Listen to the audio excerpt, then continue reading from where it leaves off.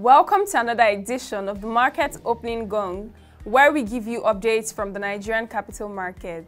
This edition captures the market performance for Tuesday, May 5th, 2020. From the Nigerian Stock Exchange, the All-Share Index closed at 23,809.31 basis points with a market capitalization of 12.408 trillion naira in 4,689 deals, meaning it's appreciated by 3.12%. The equities market continued the week on a positive note as investors gained 374.94 billion naira. At the close of trading, market recorded 29 gainers to 7 losers. The top three gainers for equity were Dangote Cement, Neimeth International Pharmaceuticals, and Prestige Assurance, while May and Baker Nigeria, NPF Microfinance Bank, and Linkage Assurance were among the top losers. Guaranty, Mutual Benefits Assurance, and Zenith Bank were the top players in terms of trade volumes and most active to boost market turnover. Looking at the FMDQ OTC exchange, the debt market size closed at 28.75 trillion naira. The NAFEX rate closed at 387 naira 35 kobo to a dollar, while the I&E FX rate opened at 384 naira 83 kobo to a dollar and closed at 385 naira 40 kobo to a dollar. For the NASD OTC market, the NSI closed at 700.35 basis points with a market capitalization of 514.46 billion. The volume traded was 6,000 and 78,000 in terms of value traded in one deal executed for the day.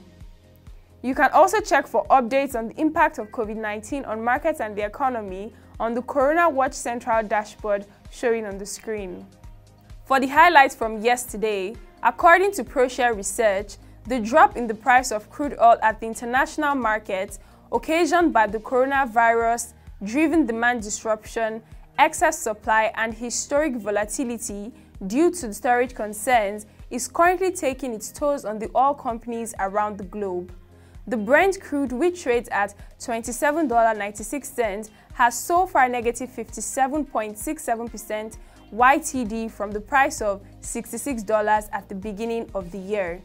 A performance review of the stocks listed in the sector on the Nigerian Stock Exchange reflected that it has been bearish so far in the year with one gainer to seven losers.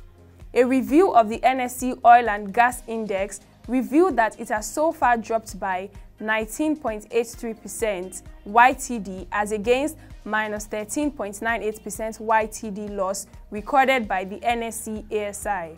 This suggested the NSE Oil and Gas Index has so far underperformed the NSE ASI in year 2020 as at May 4th. For the key market and economic events to watch, the Economy and Politics Chrononomics discourse on Web TV will focus on post-COVID-19, business sustainability and economic stability in Nigeria with Mr. Ayuli Jemide, lead partner detail solicitors by 9 a.m. Also, the market review program will feature Mr. Michael Abayomi Osho, GMD CEO Asset and Equity Group that will discuss COVID-19, increasing the space for private capital investments into Nigeria from 10 a.m. To discuss the legal, leadership, regulatory, financing and digital measures businesses need to incorporate at this time, the Convention on Business Integrity under its MSME Standards project and in partnership with ProShare and DealHQ Law will host the MSME Conversation Series with the team Crisis Response for MSMEs on Web TV Live by 11.30 a.m. The panelists for the webinar are Soji Apampa, CEO CBI Nigeria, Tosin Ajose, Lead Advisor DealHQ, Esiri Agbeyi, Partner PwC Nigeria, Inkem Dilimbego, MD FutureSoft, and Ayo Bankole, Strategy Expert and Convener Lagos SME Bootcamp as moderator. And that will be all for this edition of the Market Opening Gong. Visit www.proshareng.com to get more updates from our news stories and videos.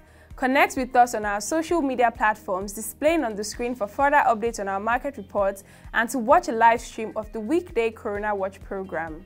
The ProShare mobile app is also available on Apple Store and Play Store on your mobile device, which allows you to customize your preferred news and videos. Till we come your way again, thank you for watching and do stay safe.